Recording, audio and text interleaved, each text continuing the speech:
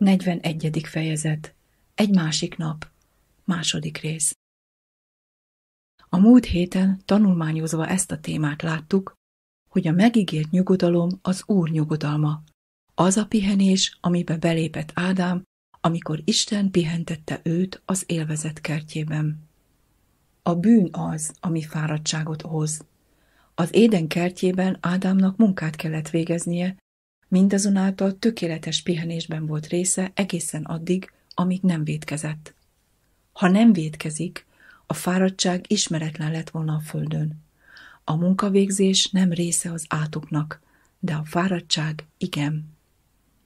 Mivel, hogy ettél arról a fáról, amelyről azt parancsoltam, hogy ne egyél arról, átkozott legyen a föld te miattad, fáradtságos munkával élj belőle életednek minden napjaiban. Tövist és bogánckórót teremjen te neked, s egyed a mezőnek füvét. Orcád verítékével egyed a te kenyeredet, még len visszatérsz a földbe. 1 Mózes 3, 17-től 19-ig. Megtartva a nyugodalmat Egészen addig a pillanatig Ádám örült a tökéletes nyugalomnak, miközben dolgozott. Miért? Mert a munkája abból állt, hogy őrizze meg Isten tökéletes munkáját, amit számára készített, és amit átadott neki. Ádámnak nem kellett teremtenie. Ha csak egy virágot vagy egy fűszálat kellett volna teremtenie, valószínűleg haláláig fáradozott volna, és halálakor feladatát befejezetlenül hagyta volna. De Isten elvégezte a teremtés munkáját, és átadta Ádámnak birtokba azzal a parancsal, hogy őrizze azt. Ádám csak addig tudta megőrizni a kertet, ameddig hitét megőrizte. Vegyük észre, hogy ez a tökéletes nyugodalom az új föld tökéletes nyugodalma volt. Továbbá figyeljük meg, hogyha a bűn soha nem lépett volna be a világba, akkor a föld örökké új maradt volna. A bűn megrontotta a földet, és megöregítette azt. Isten tökéletes nyugodalma csak a mennyei állapotban található meg, és az új föld kétségtelenül egy jobb ország volt, tudnélik mennyei. Amit kezdetben az ember kapott, amikor dicsőséggel és tisztességgel koronáztatott meg, és amit elveszített, amikor vétkezett és szűkölködött Isten dicsősége nélkül, de amit a második Ádám jogosan megszerzett, dicsőséggel és tisztességgel megkoronázva a halála által, melyet szenvedett, az, amit Isten megígért Ábrahámnak és magvának, amit akkor kapnak meg, amikor eljön a messiás, amikor minden újjáteremtetik. Még megmaradt valami édemből. Ez az új és tökéletes teremtés eltűnt, de a nyugodalom megmaradt. A bizonyíték, hogy a teremtés belet fejezve, és a nyugodalom el volt készítve a világ megalapítása óta az, hogy Isten megpihent minden munkájától a hetedik napon. Az Úr szombatja, a hetedik nap, az éden azon része, amely az átok közepette megmarad. Az új föld nyugalmának egy része, amely átnyúlik az elveszett éden és a helyreállított éden felett. Mivel a szombat kikerekítette a teremtés hetét, és a munka befejezésének bizonyítéka volt, ezért az új és tökéletes teremtés pecsétje. Most egy újjáteremtésre van szükség, amit ugyanazzal az erővel lehet véghez vinni, mint kezdetben. Minden dolog Krisztusban teremtetett, és ha valaki Krisztusban van, új teremtés az. De a tökéletesség pecsétje mindkét esetben ugyanaz. Ezért a szombat a tökéletesség pecsétje, a tökéletes igazság pecsétje. Mit jelképez a jel? Azt azonban meg kell értenünk, hogy a szombat pihenése nem csak a péntek naplementétől szombat naplementéig a munkától való tartózkodást jelenti. Ez a tartózkodás csak a pihenés jele, és mint minden más jel, így ez is egy csalás, ha a szimbolizált dolog nincs jelen. Az igazi szombatpihenés Isten teljes és folyamatos elismeréséből áll, mint mindek dolognak teremtője és fenntartója, az igaz, akiben életünk, mozgásunk és létezésünk van, életként és igazságként. A szombat megtartása nem egy kötelesség, amit teljesíteni kell Isten kegyelmének megszerzése érdekében, hanem a hit megőrzése, amely által az igazság beszámítatik nekünk.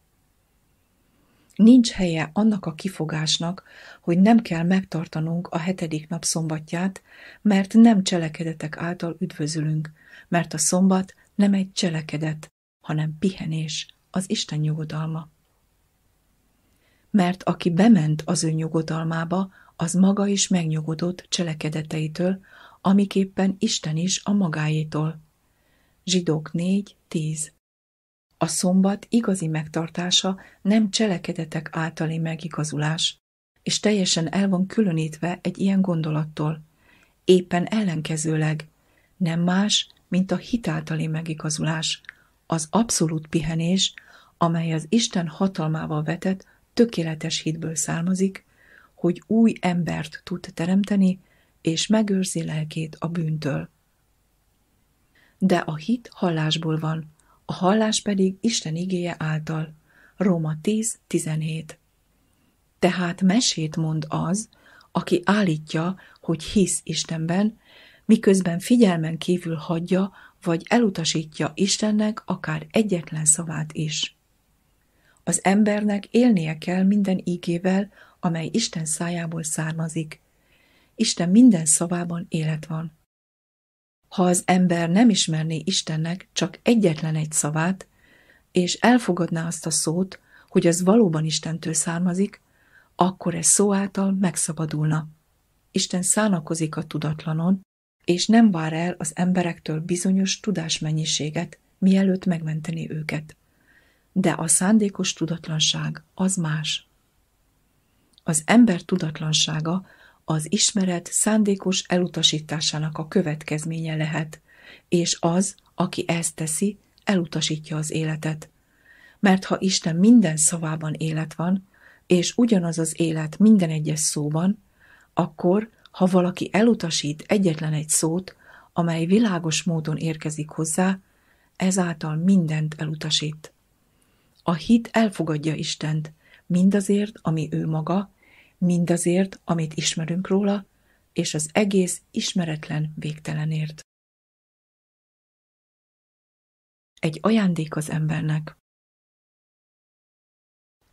Ne felejtsük el, hogy a szombat nem egy teher, amit Isten az emberekre rak, hanem egy áldás, amit az embernek kínál. Nem más, mint a terhek eltávolítása. Jöjjetek én hozzám minnyájan, akik megfáradtatok és megterheltettetek, és én megnyugoszlak titeket. Ahelyett, hogy a szombat megtartására kényszeríteni az embereket, Isten azt mondja, hogy senki sem részesülhet a szombat nyugodalmában, hanem csak az, aki hisz. Az embernek, aki így gondolkodik, nem hiszem, hogy szükséges megtartanom a szombatot, annak Isten így válaszol, te nem tudod megtartani. Ha nem lépsz be a nyugodalmamba, nem lesz részed benne. Az embernek lehetetlen megtartani az Úr szombatját hit nélkül, mert az igaz pedig hitből él. A szombat Isten nyugodalma. Isten nyugodalma tökéletesség, és a tökéletességet csak tökéletes hit által lehet elérni. Az Isten lélek, és akik őt imádják, szükség, hogy lélekben és igazságban imádják. János 4.24 Ezért Isten nyugodalma lelki, így hát csak a fizikai pihenés lelki pihenés nélkül egyáltalán nem jelenti a szombat megtartását. Csak a lelkiek tudják valóban megtartani az Úr szombatját. Mindaddig, amíg Ádám hagyta, hogy a lélek vezesse, örült a teljes nyugalomnak, úgy a testinek, mint a lelkinek. Amint vétkezett, elveszítette a nyugodalmat. Annak ellenére, hogy a föld átka a test fáradtságát okozza, édentől fogva a szombat továbbra is a lelki pihenés garanciája és pecsétje maradt. A hetedik napon a tartózkodás minden munkánktól és örömünktől, a tartózkodás mindattól, amiből személyes profit származna, egyszerűen az Isten elismerésén alapszik, mint minden dolog teremtője és fenntartója, akinek hatalma által élhetünk. De ez a látszólagos pihenés csak egy csalás, ha nem teljes szívből ismerjük el Istent, és nem kötelezzük el magunkat teljesen a szombat megtartása mellett. Következésképpen a szombat különösen a szegény ember barátja, mert mindenek felett a dolgozó embert szólítja meg, mert az evangélium a szegényeknek hirdettetik. A gazdagok nehezen hallják az Úr hívását, mert valószínűleg elégedettek sorsukkal. Bíznak vagyonukban, és úgy érzik, képesek megélni a jelenben. A jövőre nézve pedig azt gondolják, hogy az ő házuk örökkévaló. De a szegény ember számára, aki egyik napról a másikra él, a szombat reményt és örömöt hoz azáltal, hogy elméjét Istenhez irányítja, Teremtőhöz, aki a mi életünk. Ő azt mondja, keressétek először Istennek országát és az ő igazságát, és ezek mind megadatnak néktek. A szegény ember ahelyett, hogy kényszeredetten azt mondaná, hogyan fogok megélni, ha megőrzöm a szombatot. Úgy tekint a szombatra, mint az élete problémáinak megoldására. A kegyesség mindenre hasznos, meglévén benne a jelen való és a jövő életnek ígérete. 1 Timóteus 4.8 Az áldott nap és az áldott ember Tartsuk észben, hogy míg a szombat a hétnek hetedik napja a nyugodalom, amelyet a szombatnap kiemel, folyamatos.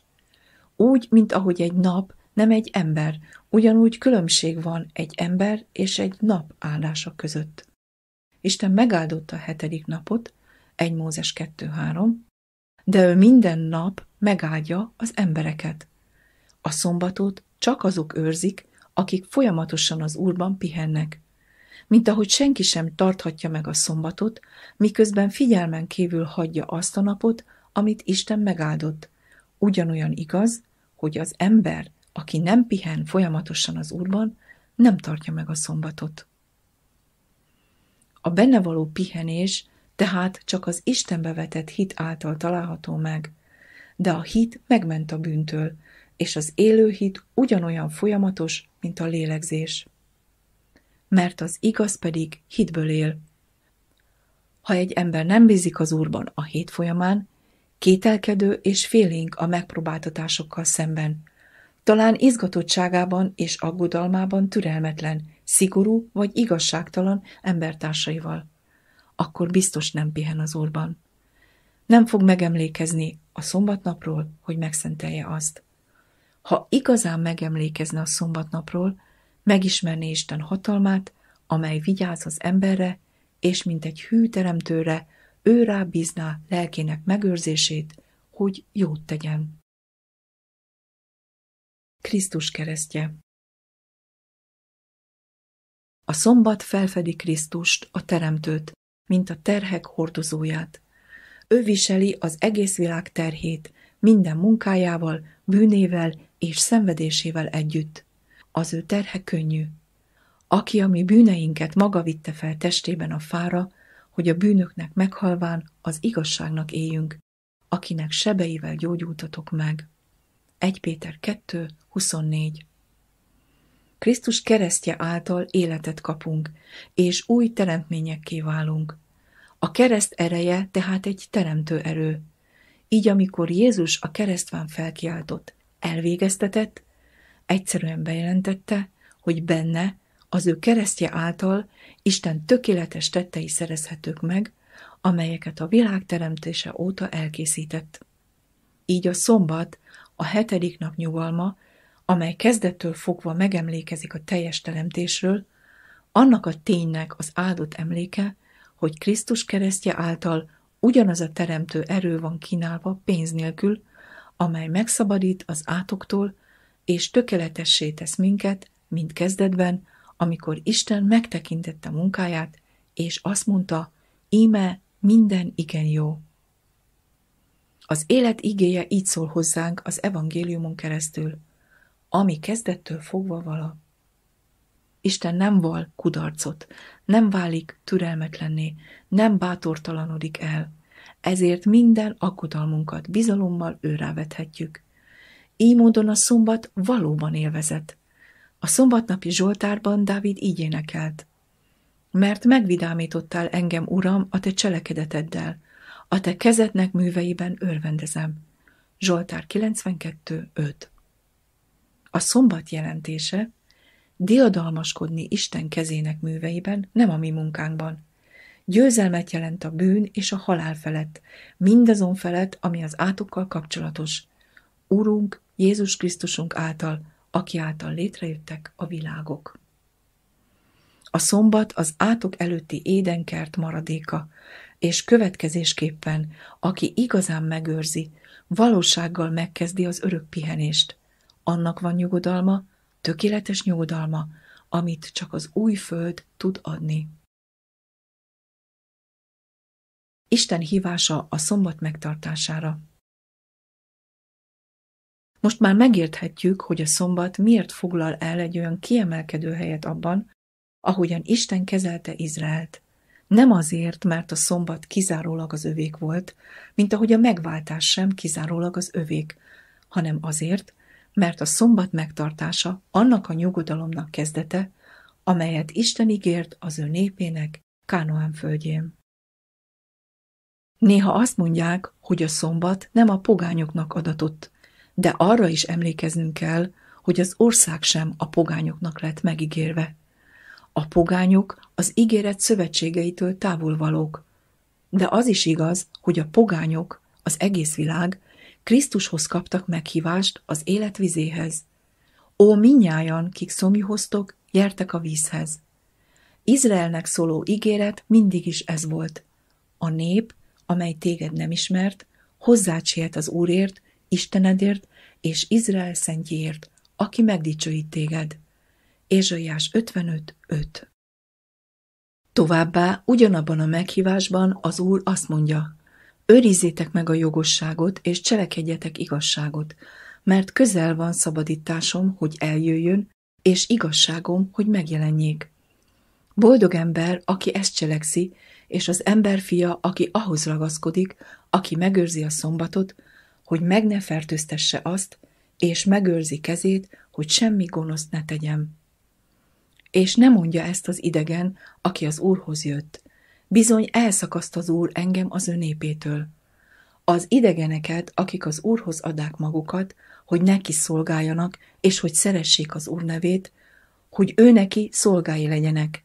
Mindenkit, aki megőrzi a szombatot, hogy meg ne fertőztesse azt, és a szövetségemhez ragaszkodókat. Szent hegyemre viszem föl ezeket, és megvidámítom őket imádságom házában, egészen égő és véres áldozataik kedvesek lesznek oltáromon, mert házam imádságházának hivatik minden népek számára. Így szól az Úristen, aki összegyűjti Izrael elszélet fiait. Még gyűjtök ő hozzá, az ő egybegyűjtötteihez. Ézsaiás 56, 1-től 8-ig. Mind ezeknek, mind amazoknak, mindenkinek, akiknek békét hirdet az Isten, akár közelvalók, akár távolvalók, Ézsaiás 57, 19, az Úr hirdet nekik egy dicsőséges ígéretet. Egy dicsőséges ígéret. Ha megtartóztatott szombaton lábadat, és nem űzött keftelésedet szent napomon, és a szombatot gyönyörűségnek hívod, az Úr szent és dicsőséges napjának, és megszenteled azt, dolgaidat nem tévén, foglalkozás sem találván, hamis beszédet sem szólván. Akkor gyönyörűséged lesz az Úrban, és én hordozlak a föld magaslatain, és azt művelem, hogy Jákobnak, atyádnak örökségével élj, mert az Úr szája szólt. Ésajás 58, 13-14 azok, akik a szombatot örömnek nevezik, nem tehernek, örvendezni fognak az Úrban. Miért? Mert az Úr szombatja az ő nyugodalma. Ezt a nyugodalmat csak az ő jelenlétében lehet megtalálni, akiben örömnek teljessége van. Az éden nyugodalma, mert éden élvezet, öröm és az újföld nyugodalma, mert Éden az újföldhöz tartozik. Olvastuk már, hogy azok, akik eljönnek az Úrhoz, hogy megtartsák a szombatot, örömmel telnek meg az Úr házában, és róluk olvassuk. Dúslakodnak házadnak bőséges javaiban, megitatod őket gyönyörűségeit folyóvizéből. Zsoltár 36, 9 Ez az Úr öröksége.